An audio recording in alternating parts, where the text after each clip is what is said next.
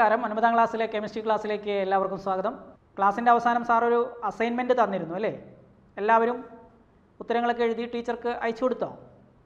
Yes എല്ലാവരും അയച്ചു കൊടുത്തു അല്ലേ? ഓക്കെ പീരിയോഡിക് ടേബിളിലെ ചില ക്രമാവർത്തന പ്രവണതകൾ പീരിയോഡിക് ട്രെൻഡ്സ് ഒന്ന് പരിചയപ്പെടാം. ഒന്നാം ഗ്രൂപ്പിലുള്ള ചില മൂലകങ്ങളുടെ ബോർ മാതൃക എല്ലാവരും കണ്ടല്ലോ? ഇതിൽ ഏതൊക്കെ മൂലകങ്ങളുണ്ട്? Hydrogen lithium sodium potassium rubidium. ഇതിലെ ഏറ്റവും വലിയ മൂലകം ഏതാണ്? ഏറ്റവും താഴെ കാണുന്ന റുബീഡിയം അല്ലേ? ഏറ്റവും ചെറിയ മൂലകമോ? ഹൈഡ്രജനാണ്. എന്തുകൊണ്ടാണ് ഹൈഡ്രജന് വലിപ്പം കുറവും റുബീഡിയത്തിന് വലിപ്പം കൂടുതലുമാണ് എന്ന് നിങ്ങൾ പറയാൻ കാരണം? നോക്കൂ ബോർ മാതൃക സൂക്ഷിച്ച് നോക്കിയാൽ താഴോട്ട് പോകും തോറും എന്ത് കൂടി വരുന്നുണ്ട്? ആ ഷെല്ലുകളുടെ എണ്ണം കൂടി വരുന്നുണ്ട്. ശരിയല്ലേ? ഒരു ഗ്രൂപ്പിൽ മുകളിൽ നിന്ന് താഴോട്ട് പോകും തോറും ഷെല്ലുകളുടെ എണ്ണം കൂടുന്നതുകൊണ്ട് ആറ്റത്തിന്റെ വലിപ്പവും കൂടുന്നു. As we move from top to bottom of a group in the periodic table the size of the atom increases as there is an increase in the number of shells ഇനി പിരീഡിൽ ആറ്റത്തിന്റെ വലിപ്പത്തിന് എന്താണ് സംഭവിക്കുക എന്നൊന്ന് നോക്കാം. ഇവിടെ രണ്ടാം പിരീഡിലെ ഏതാനും മൂലകങ്ങളുടെ ബോർ മാതൃകയാണ് കൊടുത്തിട്ടുള്ളത്. Lithium beryllium boron carbon nitrogen oxygen fluorine. രണ്ടാമത്തെ പിരീഡാണ്. ഇവിടെ ഇടത്തു നിന്ന് വലത്തോട്ട് പോകും തോറും ആറ്റത്തിന്റെ വലിപ്പത്തിന് എന്താണ് സംഭവിക്കുക? വലിപ്പം കുറയുന്നു. ശരിയാണല്ലോ? നോക്കൂ രണ്ടാമത്തെ പീരീഡ് ആയതുകൊണ്ട് ഷെല്ലുകളുടെ എണ്ണം കൂടുന്നില്ല. രണ്ട് ഷെല്ലുകളെ ഉള്ളൂ അല്ലേ? അതുകൊണ്ട് ഗ്രൂപ്പിൽ സംഭവിച്ചതുപോലെ ആറ്റത്തിന്റെ വലിപ്പം കൂടില്ല. വലിപ്പം കുറഞ്ഞു വരുന്നുണ്ടല്ലോ. അപ്പോൾ അതെന്തുകൊണ്ടാണ് എന്ന് നമുക്ക് നോക്കാം. ആറ്റത്തിന്റെ കേന്ദ്രബിന്ദുവാണ് ന്യൂക്ലിയസ് എന്നും അതിൽ പ്രോട്ടോണുകളും ന്യൂട്രോണുകളും ഉണ്ട് എന്ന് പഠിച്ചു അല്ലേ? പ്രോട്ടോണുകൾക്ക് പോസിറ്റീവ് ചാർജാണ് ന്യൂട്രോണുകൾക്ക് ചാർജ് ഇല്ല. ന്യൂക്ലിയസിന് ഒരു പോസിറ്റീവ് ചാർജാണ് ഉള്ളത്. ആ ന്യൂക്ലിയസിന് ചുറ്റും നെഗറ്റീവ് ചാർജുള്ള ഇലക്ട്രോണുകൾ ഒരു പ്രത്യേക പാത്തിലൂടെ ഷെല്ലുകളിലൂടെ സഞ്ചരിക്കുന്നു. സ്വാഭാവികമായിട്ടും ഈ ന്യൂക്ലിയസും ഇലക്ട്രോണുകളും തമ്മിൽ ഒരു ആകർഷണബലം ഉള്ളതുകൊണ്ടാണല്ലോ ഇങ്ങനെ ഒരു പ്രത്യേക പാതയിലൂടെ ഷെല്ലുകളിലൂടെ സഞ്ചരിക്കുക. അതായത് ന്യൂക്ലിയസിന് ഒരു ചാർജ് ഉണ്ട് പ്രോട്ടോണുകളാണ് അതിൽ ഉള്ളത് എന്നുള്ളതുകൊണ്ട് ന്യൂട്രോൺ ചാർജ് ഇല്ല എന്നുള്ളതുകൊണ്ടും സ്വാഭാവികമായിട്ടും ന്യൂക്ലിയസിന് പോസിറ്റീവ് ചാർജ് ആയിരിക്കും അങ്ങനെയാണെങ്കിൽ ലിഥിയത്തിന്റെ ന്യൂക്ലിയസിലെ ചാർജ് എന്ന് പറയുന്നത് പ്ലസ് ത്രീ പ്രോട്ടോണുകളുടെ എണ്ണം ത്രീ ആണല്ലോ. അത് ലെഫ്റ്റ് ടു റൈറ്റ് നോക്കുമ്പോൾ ഫ്ലൂറിലിൽ വരുമ്പോൾ എന്തായിരിക്കും അവസ്ഥ? പ്രോട്ടോണുകളുടെ എണ്ണം എത്രയാ? ഒൻപതാണ് അല്ലേ? ന്യൂക്ലിയസിന് ചാർജ് എത്രയാ? പ്ലസ് നയൻ വരുന്നു. ഒരു പിരീഡിൽ ഇടത്തു നിന്ന് വലത്തോട്ട് പോകുന്തോറും ന്യൂക്ലിയർ ചാർജ് കൂടി വരുന്നു. സ്വാഭാവികമായിട്ടും ആറ്റത്തിന്റെ വലിപ്പം കുറയും. ദെൻ പിരീഡിൽ ലെഫ്റ്റ് ടു റൈറ്റ് ഇടത്തു നിന്ന് വലത്തോട്ട് പോകുന്തോറും ആറ്റത്തിന്റെ വലിപ്പം കുറയുന്നു. കാരണം ന്യൂക്ലിയർ ചാർജ് കൂടുന്നു. As we move from left to right of a period in the period table the size of the atom decreases as the nuclear charge increases ഇനി ഈ ആറ്റത്തിന്റെ വലിപ്പം പ്രസ്താവിക്കുന്ന ഒരു രീതി കൂടി നമുക്കൊന്ന് പരിചയപ്പെടാം. സ്പെറിക്കൽ ഷേപ്പുള്ള ഗോളാകൃതിയുള്ള ആറ്റങ്ങൾക്ക് ഒരു ആരം കണക്കാക്കാൻ സാധിക്കും. ന്യൂക്ലിയസിന്റെ കേന്ദ്രബിന്ദു മുതൽ ഏറ്റവും പുറത്തെ ഷെല്ലിലേക്കുള്ള ദൂരമാണ് ആറ്റോമിക ആരം. Atomic radius is the distance from the centre of the nucleus to the outermost shell ഗ്രൂപ്പിൽ മുകളിൽ നിന്ന് താഴോട്ട് പോകുന്തോറും ആറ്റത്തിന്റെ ആരം ആറ്റോമിക ആരം കൂടി വരുന്നു. പിരീഡിൽ നേരെ തിരിച്ചായിരിക്കും. അതിന്റെ വലിപ്പം കുറയുകയാണ്. സ്വാഭാവികമായിട്ടും ആറ്റോമിക് റേഡിയസ് കുറഞ്ഞു വരും. ആറ്റത്തിന്റെ വലിപ്പവും ആറ്റോമിക് റേഡിയസും നിങ്ങൾക്ക് മനസ്സിലായി. നമ്മളിപ്പോൾ ചർച്ച ചെയ്തുകൊണ്ടിരിക്കുന്നത് പീരിയോഡിക് ടേബിളിലെ ചില ക്രമാവർത്തന പ്രവണതകളാണ്. പീരിയോഡിക് ട്രെൻഡ്സ് ആണ്. അതിൽ ആറ്റത്തിന്റെ വലിപ്പമാണ് നമ്മളിപ്പോൾ പറഞ്ഞു നിർത്തിയത്. രണ്ട് ബോർ മാതൃകകൾ നൽകുകയാണ്. ഒന്നേതാണ് മൂലകം സോഡിയമാണ് അല്ലേ? ആറ്റോമിക് നമ്പർ പതിനൊന്ന് ഇലക്ട്രോൺ വിന്യാസം രണ്ട് എട്ട് ഒന്ന്. ക്ലോറിന്റെയോ ആറ്റോമിക് നമ്പർ പതിനേഴ് ഇലക്ട്രോണിക് കോൺഫിഗറേഷൻ രണ്ട് എട്ട് ഏഴ്. ഈ സോഡിയവും ക്ലോറിനും തമ്മിൽ പ്രവർത്തിച്ചാൽ എന്ത് സംയുക്തമാണ്? യെസ് എന്താണ്? ആ സോഡിയം ക്ലോറൈഡ് അല്ലേ? സോഡിയം ക്ലോറൈഡ് ഏത് തരം ബന്ധനത്തിൽ ഏർപ്പെട്ടിരിക്കുന്നു? അയോണിക ബന്ധനത്തിൽ ഏർപ്പെട്ടിരിക്കുന്നു. ശരി. കാരണം എന്താ? അവിടെ ഇലക്ട്രോണുകൾ കൈമാറ്റം ചെയ്യപ്പെടുകയാണ് ചെയ്യുന്നത് അല്ലേ?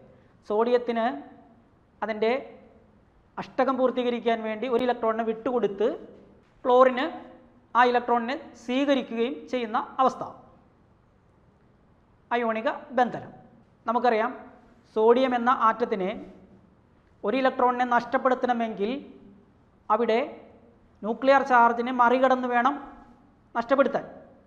അപ്പം അങ്ങനെ നഷ്ടപ്പെടുത്താൻ ആവശ്യമായ സ്വതന്ത്രമാക്കാൻ ആവശ്യമായ ഊർജത്തെയാണ് നമ്മൾ അയോണീകരണ ഊർജം അയണൈസേഷൻ എനർജി എന്ന് പറയുന്നത്. അതായത് വാതകാവസ്ഥയിലുള്ള ഒറ്റപ്പെട്ട ഒരാറ്റത്തിന്റെ ബാഹ്യതമ ഷെല്ലിലെ ഏറ്റവും ദുർബലമായി ബന്ധിച്ചിരിക്കുന്ന ഇലക്ട്രോണിനെ നീക്കം ചെയ്യാൻ ആവശ്യമായ ഊർജത്തെയാണ് അയണൈസേഷൻ എനർജി അയോണീകരണ ഊർജം എന്ന് പറയുന്നത്.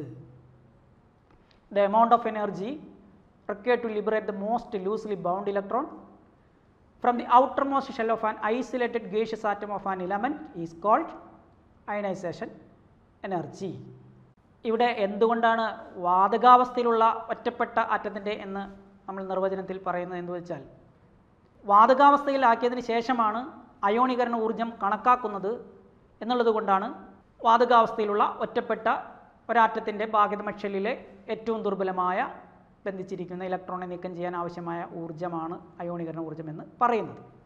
ഇതുമായി ബന്ധപ്പെട്ട വിശദമായ കാര്യങ്ങൾ നിങ്ങൾ ഉയർന്ന ക്ലാസ്സുകളിൽ പഠിക്കും. ഇനി അയോണീകരണ ഊർജത്തെ ആശ്രയിക്കുന്ന പ്രധാന ഘടകങ്ങൾ എന്തൊക്കെയാണെന്ന് നോക്കാം. Ionisation energy depends on two important factors one is nuclear charge and another is size of the atom അയോണീകരണ ഊർജം പ്രധാനമായും രണ്ട് ഘടകങ്ങളെ ആശ്രയിച്ചിരിക്കുന്നു. ന്യൂക്ലിയർ ചാർജ് ആറ്റത്തിന്റെ വലിപ്പം. ആറ്റത്തിന്റെ വലിപ്പം താഴേക്ക് വരും തോറും കൂടി വരുന്നു. സ്വാഭാവികമായിട്ടും ന്യൂക്ലിയസും ഭാഗിതം ഷെല്ലിൽ ഇലക്ട്രോണും തമ്മിലുള്ള അകലം കൂടി വരും അല്ലേ? ഷെല്ലുകളുടെ എണ്ണം കൂടുന്നതുകൊണ്ട്. ഓക്കെ അങ്ങനെ വരുമ്പോൾ അയോണീകരണ ഊർജത്തിന് എന്താണ് സംഭവിക്കുക എന്നുള്ളതാണ് നമ്മുടെ അടുത്ത ചോദ്യം. ന്യൂക്ലിയസുമായിട്ടുള്ള അകലം കൂടുമ്പോൾ അവയുടെ ആകർഷണം കുറയും. അങ്ങനെ വരുമ്പോൾ പുറത്തെ ഷെല്ലിൽ ഇലക്ട്രോണിനെ നീക്കം ചെയ്യാൻ ഒരുപാട് ഊർജം വേണ്ടതുണ്ടോ? ഇല്ലല്ലോ. യെസ് അതുകൊണ്ട് ലിഥിയത്തിന് ഒരു ഇലക്ട്രോണിനെ നഷ്ടപ്പെടുത്താനുള്ള അതേ പ്രവണതയാണോ സോഡിയത്തിനുള്ളത്? അല്ല. സൈസ് കൂടുന്നത് കൊണ്ട് ന്യൂക്ലിയസുമായിട്ടുള്ള ആകർഷണം കുറഞ്ഞ് ആ ഒരു ഇലക്ട്രോണിനെ നീക്കം ചെയ്യാനുള്ള ഊർജം വളരെ കുറച്ച് മതി. താഴോട്ട് വരും തോറും അതാണ് സംഭവിക്കുന്നത്. കുറച്ചുകൂടി കൃത്യമായി പറഞ്ഞാൽ ഒരു ഗ്രൂപ്പിൽ മുകളിൽ നിന്ന് താഴോട്ട് പോകുന്തോറും അയോണീകരണ ഊർജം കുറയുന്നു. കാരണം ന്യൂക്ലിയസും ബാഹ്യതമഷലിലെ ഇലക്ട്രോണും തമ്മിലുള്ള ആകർഷണം കുറഞ്ഞു വരുന്നതിനാൽ അവയെ നീക്കം ചെയ്യാൻ ഊർജം കുറച്ച് മതി. അപ്പോൾ അയോണീകരണ ഊർജത്തിലെ ഗ്രൂപ്പിലെ ഇടത്ത് നിന്ന് വലത്തോട്ട് പോകും തോറും വലിപ്പം കുറഞ്ഞു വരികയാണ് അല്ലേ? ഇവിടെ ന്യൂക്ലിയർ ചാർജ് കൂടി വരികയാണ്. ന്യൂക്ലിയർ ചാർജ് കൂടി വരുമ്പോൾ ലിഥിയത്തിന് ഒരു ഇലക്ട്രോൺ ആയിരുന്നു എന്നുള്ളതെങ്കിൽ ബെറിലിയത്തിന് രണ്ട് ഇലക്ട്രോണായി ബോറോണ് മൂന്ന് ഇലക്ട്രോണായി അവസാനം ഫ്ലൂറിൻ വന്നപ്പോൾ ഏഴ് ഇലക്ട്രോണുകളാണ് അല്ലേ? ഈ ഏഴ് ഇലക്ട്രോണിനെ നീക്കം ചെയ്യാൻ അല്ലെങ്കിൽ സ്വതന്ത്രമാക്കാൻ ഒരുപാട് ഊർജം വേണ്ടേ? കാരണം ന്യൂക്ലിയർ ചാർജ് കൂടുതലാണല്ലോ. അപ്പം അതുകൊണ്ട് ഒരു പീരീഡിൽ ഇടത്ത് നിന്ന് വലത്തോട്ട് പോകും തോറും ന്യൂക്ലിയർ ചാർജ് കൂടുന്നു. അതോടൊപ്പം തന്നെ അയോണീകരണ ഊർജവും കൂടി വരും. As we move from left to right of a period in the periodic table ionisation energy increases അപ്പോൾ അയോണീകരണ ഊർജം ഏറ്റവും കൂടുതലുള്ള ഗ്രൂപ്പ് ഏതാണെന്ന് പറഞ്ഞത്? പതിനെട്ടാം ഗ്രൂപ്പ് അല്ലേ? ഉത്കൃഷ്ട വാതകങ്ങൾ. എന്താ കാരണം? നമ്മൾ ഓൾറെഡി ചർച്ച ചെയ്ത കാര്യമാണ്. എന്താ? അവയുടെ എല്ലാം ഭാഗിതമ ഷെല്ലിൽ അഷ്ടകം പൂർത്തീകരിച്ചിരിക്കുകയാണ് അല്ലേ? ഒക്ടക്ട് കോൺഫിഗറേഷനാണ് അതുകൊണ്ട് അവയ്ക്ക് രാസപ്രവർത്തനത്തിൽ പങ്കെടുക്കേണ്ട ആവശ്യമില്ല. സ്ഥിരത കൈവരിക്കേണ്ടതില്ല. ഓൾറെഡി അവ സ്റ്റേബിളാണ് അപ്പോൾ ഇലക്ട്രോണിനെ സ്വതന്ത്രമാക്കാൻ ഒരുപാട് ഊർജം വേണ്ടി വരും അല്ലേ? പുറത്തെ ഷെല്ലിൽ എട്ട് ഇലക്ട്രോൺ ആയതുകൊണ്ട്. നേരെ മറിച്ച് സോഡിയത്തിനൊക്കെ ഒരു ഇലക്ട്രോണാണ് കുറച്ച് ഊർജം മതി ആ ഭാഗ്യതമ ഷെല്ലിൽ ഇലക്ട്രോണിനെ നീക്കം ചെയ്യാൻ. ഫ്ലോറിലേക്ക് എത്തിയപ്പോൾ ഏഴ് ഇലക്ട്രോണായി വളരെയധികം ഊർജം കൂടുതൽ വേണം. അവസാനത്തെ ഗ്രൂപ്പ് നിയോൺ ആർഗൺ എന്നിവയിലേക്ക് വരുമ്പോഴോ ഒക്ടക്റ്റ് മെയിന്റെയിൻ ചെയ്തിരിക്കുകയാണ്. സ്റ്റേബിളാണ് അപ്പോൾ ശക്തമായ ഊർജം നൽകിയാൽ മാത്രമേ ബാഹ്യതമ ഷെൽ ഇലക്ട്രോണിനെ മാറ്റുവാൻ സാധിക്കുകയുള്ളൂ എന്തുകൊണ്ടാണ് പതിനെട്ടാം ഗ്രൂപ്പ് മൂലകങ്ങൾക്ക് അയോണീകരണ ഊർജം കൂടുതൽ എന്ന് മനസ്സിലായില്ലേ? ഈ ലോഹ സ്വഭാവവും മാറ്റത്തിന്റെ വലിപ്പവും തമ്മിൽ എന്തെങ്കിലും ബന്ധം ഉണ്ടോ എന്നൊന്ന് പരിശോധിക്കാം. എന്താണ് ഈ ലോഹ സ്വഭാവം? യെസ്. രാസപ്രവർത്തന സമയത്ത് ഇലക്ട്രോണുകളെ നഷ്ടപ്പെടുത്താനുള്ള പ്രവണതയാണ് മെറ്റാലിക് ക്യാരക്ടർ അഥവാ ലോഹിയ സ്വഭാവം എന്ന് പറയുന്നത് അല്ലേ? നോക്കൂ ഒന്നാം ഗ്രൂപ്പ് മൂലകങ്ങൾ വീണ്ടും ഇവിടെ പ്രദർശിപ്പിക്കുകയാണ്. ബോർ മാതൃക കണ്ടല്ലോ. ഒന്നാം ഗ്രൂപ്പിലെ എല്ലാ മൂലകങ്ങളും രാസപ്രവർത്തന സമയത്ത് ഒരു ഇലക്ട്രോണിന് വീതമാണ് വിട്ടുകൊടുക്കുക. ഇവിടെ ലിഥിയത്തിൽ നിന്ന് സോഡിയത്തിലേക്ക് വരുമ്പോൾ ആ വിട്ടുകൊടുക്കാനുള്ള പ്രവണത കൂടാനാണോ കുറയാനാണോ സാധ്യത? ഒന്ന് ആലോചിച്ച് നോക്കി യെസ് കൂടാനല്ലേ സാധ്യത. കാരണം എന്താ? ലിഥിയത്തെ അപേക്ഷിച്ച് സോഡിയത്തിന്റെ ന്യൂക്ലിയസും ബാഹ്യതമഷലിലെ ഇലക്ട്രോണും തമ്മിലുള്ള അകലം കൂടി വരികയല്ലേ? അങ്ങനെ കൂടി വരുമ്പോൾ ആകർഷണബലം കുറയും. ബാഹ്യതമഷലിലെ ഇലക്ട്രോണിനെ നീക്കം ചെയ്യാൻ അല്ലെങ്കിൽ നഷ്ടപ്പെടുത്താനുള്ള പ്രവണത കൂടും. കുറച്ചുകൂടി കൃത്യമായി പറഞ്ഞാൽ ഗ്രൂപ്പിൽ താഴോട്ട് പോകുന്തോറും ഷെല്ലുകളുടെ എണ്ണം കൂടുന്നതിനാൽ ന്യൂക്ലിയസും ബാഹ്യതമ ഷെല്ലിൽ ഇലക്ട്രോണും തമ്മിലുള്ള ആകർഷണം കുറഞ്ഞ് അവ സ്വതന്ത്രമാകുവാൻ അല്ലെങ്കിൽ നഷ്ടപ്പെടുവാൻ സാധ്യത കൂടുകയല്ലേ ചെയ്യുക? ഓക്കെ. അപ്പോൾ ഒരു ഗ്രൂപ്പിൽ മുകളിൽ നിന്ന് താഴോട്ട് പോകുന്തോറും ലോഹീയ സ്വഭാവം കൂടുന്നു. അതുവഴി ഇലക്ട്രോ പോസിറ്റീവ് ക്യാരക്ടർ അല്ലെങ്കിൽ ഇലക്ട്രോ പോസിറ്റീവ് അയോൺ ഉണ്ടാകാനുള്ള പ്രവണത കൂടുന്നു. ആദ്യം ഒരു കാര്യം കൂടി പറഞ്ഞിരുന്നു. ഗ്രൂപ്പിൽ താഴോട്ട് പോകുന്തോറും എന്ത് സംഭവിക്കുന്നു? അയോണീകരണ ഊർജം കുറയുകയാണെന്ന് പറഞ്ഞു. അല്ലേ? അതുവഴി പോസിറ്റീവ് അയോൺ ഉണ്ടാകാനുള്ള അല്ലെങ്കിൽ മെറ്റാലിക് ക്യാരക്ടർ ആകാനുള്ള സാധ്യതയും കൂടി വരികയാണ്. Ionization energy decreases as we move down a group due to an increase in the size of the atom as a result the tendency to form a positive ion or metallic character increases. അതുകൊണ്ടാണ് ലിഥിയത്തേക്കാൾ സോഡിയത്തിന് ക്രിയാശീലം കൂടുതൽ അതുകൊണ്ടാണ് സോഡിയത്തേക്കാൾ പൊട്ടാസ്യത്തിന് ക്രിയാശീലം കൂടുതൽ ഷെല്ലുകളുടെ എണ്ണം കൂടുന്നു. ഒരു ഇലക്ട്രോണിനെ നീക്കം ചെയ്യാൻ അല്ലെങ്കിൽ ഒരു ഇലക്ട്രോണിനെ നഷ്ടപ്പെടുത്താനുള്ള പ്രവണത കൂടി വരുന്നു. ഇനി നമുക്ക് പീരീഡിൽ ഇതിനെന്താണ് സംഭവിക്കുക എന്ന് നോക്കാം. പീരീഡിലോ? പീരീഡിൽ ഇടത്തുനിന്ന് വലത്തോട്ട് പോകുന്നതോറും മാറ്റത്തിന്റെ വലിപ്പം കുറയുകയാണ് നമ്മൾ പറഞ്ഞു. അങ്ങനെ വരുമ്പോൾ നോക്കൂ രണ്ടാമത്തെ പീരീഡ് അതിലെ ബോർ മാതൃക വീണ്ടും ഒന്ന് കാണിക്കാം. ഇവിടെ ലിഥിയത്തിൽ നിന്ന് ബെറീലിയം ബോറോൺ അങ്ങനെ വരുമ്പോൾ ഔട്ടർ മോസ്റ്റ് ഷെല്ലിൽ ഇലക്ട്രോണുകളുടെ എണ്ണം കൂടി കൂടി വരികയാണ് അല്ലേ?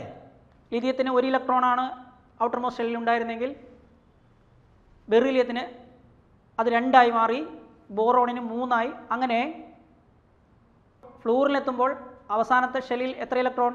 ഏഴ് ഇലക്ട്രോൺ. അപ്പോൾ ലിഥിയത്തിന് ഒരു ഇലക്ട്രോണിനെ കൊടുക്കാൻ വളരെ ഈസി ആയിരുന്നു. ഫ്ലോറിൽ വന്നപ്പോഴോ പുറത്തെ ഷെല്ലിൽ ഏഴ് ഇലക്ട്രോൺ ഉള്ളത് കൊണ്ട് എന്താ സംഭവിക്കുക? ഏഴ് ഇലക്ട്രോണിനെ കൊടുക്കാൻ ഒരിക്കലും ഫ്ലോറിൻ തയ്യാറാകില്ല അല്ലേ? അപ്പോൾ എന്ത് ചെയ്യും?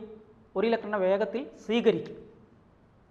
കുറച്ചുകൂടി കൃത്യമായി പറഞ്ഞാൽ കൊടുക്കാനുള്ള പ്രവണത കുറഞ്ഞു കുറഞ്ഞു കുറഞ്ഞു വന്ന് വാങ്ങാനുള്ള പ്രവണത ഇലക്ട്രോണുകളെ നേടാനുള്ള പ്രവണത കൂടി വരികയാണ് ചെയ്യുന്നത്. ലോഹ സ്വഭാവത്തിൽ നിന്ന് അലോഹ സ്വഭാവത്തിലേക്ക് വരികയാണ് ചെയ്യുന്നത്. അത് അതായത് ഒരു പീരീഡിൽ ഇടത്തുനിന്ന് വലത്തോട്ട് പോകുന്തോറും അലോഹ സ്വഭാവം കൂടുന്നു ലോക സ്വഭാവം കുറയുന്നു as we move from left to right of a period in the periodic table, the metallic character decreases and the non-metallic character increases. ഇതിൽ അവസാനമായി പറയാനുള്ളത് ഇലക്ട്രോ നെഗറ്റിവിറ്റി എങ്ങനെ ഗ്രൂപ്പിലും പീരീഡിലും വ്യത്യാസപ്പെട്ടിരിക്കുന്നു എന്നുള്ളതാണ്. What is the definition of electronegativity yes സഹസംയോജക ബന്ധനത്തിൽ ഏർപ്പെട്ട രണ്ട് ആറ്റങ്ങൾക്കിടയിൽ പങ്കുവച്ച ഇലക്ട്രോൺ ജോഡികളെ ആകർഷിക്കാനുള്ള അതത് ആറ്റത്തിന്റെ കഴിവിനെ ഇലക്ട്രോനെഗറ്റിവിറ്റി എന്ന് പറയുന്നു. In a covalent bond the relative ability of each atom to attract the bonded pair of electrons to itself is called electronegativity അല്ലേ? Period table നമ്മൾ മൊത്തത്തിലെടുത്താൽ ഇലക്ട്രോണിനെ ആകർഷിക്കാൻ ഏറ്റവും കഴിവ് കൂടുതൽ ഏത് ഗ്രൂപ്പുകൾക്കായിരിക്കണം? ഒന്നാം ഗ്രൂപ്പും രണ്ടാം ഗ്രൂപ്പൊക്കെ എടുത്തു കഴിഞ്ഞാൽ ആറ്റത്തെ നഷ്ടപ്പെടുത്താനുള്ള പ്രവണതയല്ലേ കൂടുതലുള്ളത്? നേരെ മറിച്ച് പതിനേഴാം ഗ്രൂപ്പ് ഒന്ന് പരിശോധിക്കൂ. പതിനേഴാം ഗ്രൂപ്പിൽ ഫ്ലൂറിൻ അവസാനത്തെ ഷെല്ലിൽ എത്ര ഇലക്ട്രോണാ ഏഴ് ഇലക്ട്രോൺ ആണല്ലേ അപ്പോൾ ആ ഏഴ് ഇലക്ട്രോണിന് അഷ്ടകം പൂർത്തീകരിക്കാൻ ഒരു ഇലക്ട്രോണിനെ പെട്ടെന്ന് സ്വീകരിച്ച് സ്ഥിരത കൈവരിക്കേണ്ടതുണ്ട്. അങ്ങനെ നമുക്ക് എന്ത് പറയാൻ സാധിക്കും? ഫ്ലൂറിന് ഇലക്ട്രോനെഗറ്റിവിറ്റി വളരെ കൂടുതലാണ്. സാധാരണ ഇലക്ട്രോനെഗറ്റിവിറ്റി പറയുന്നത് ബോണ്ടഡ് പെയറിലാണ് കേട്ടോ. അതായത് രാസബന്ധനത്തിൽ ഏർപ്പെട്ടിട്ടുള്ള ആറ്റങ്ങൾക്കാണ് നമ്മൾ ഇലക്ട്രോനെഗറ്റിവിറ്റി പറയുന്നത്. പതിനെട്ടാം ഗ്രൂപ്പ് മൂലകങ്ങൾ ഉത്കൃഷവാതകങ്ങൾ നോബൽ ഗ്യാസസ്. അവയ്ക്ക് നമ്മൾ എന്ത് പറയുന്നില്ല? ഇലക്ട്രോ നെഗറ്റിവിറ്റി പറയുന്നില്ല. എന്താ കാരണം? അവിടെ അഷ്ടകം പൂർത്തീകരിച്ചിരിക്കുന്നു എന്നുള്ളതുകൊണ്ട് രാസബന്ധനത്തിൽ ഏർപ്പെടേണ്ട ഒരു കാര്യം അവർക്ക് ഇല്ല. സ്വാഭാവികമായിട്ടും നമ്മൾ ഇലക്ട്രോ നെഗറ്റിവിറ്റി പ്രസ്താവിക്കുന്നില്ല. താഴോട്ട് പോകും തോറും ഇലക്ട്രോണിനെ നഷ്ടപ്പെടുത്താനുള്ള പ്രവണത കൂടിക്കൂടി വരികയല്ലേ ചെയ്യുക? അല്ലെങ്കിൽ സ്വീകരിക്കാനുള്ള കഴിവ് കുറയുകയാണ് ചെയ്യുന്നത് അല്ലേ?